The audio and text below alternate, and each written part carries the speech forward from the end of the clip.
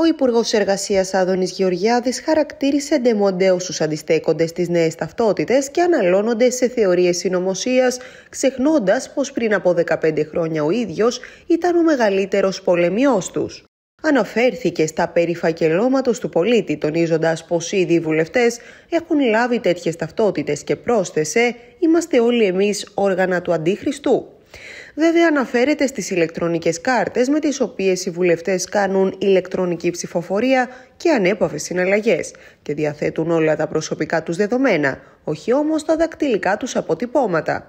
Όπως δήλωσε συγκεκριμένα ο Υπουργός Εργασίας, η ταυτότητα που υιοθετεί η ελληνική κυβέρνηση και το ελληνικό κράτος είναι παρόμοια με αυτή που ισχύει στα κράτη-μέλη της Ευρωπαϊκής Ένωσης. Η ταυτότητα αυτή θα ισχύει υποχρεωτικά σε όλα τα κράτη-μέλη της Ευρωπαϊκής Ένωσης από τις 3 Αυγούστου 2026.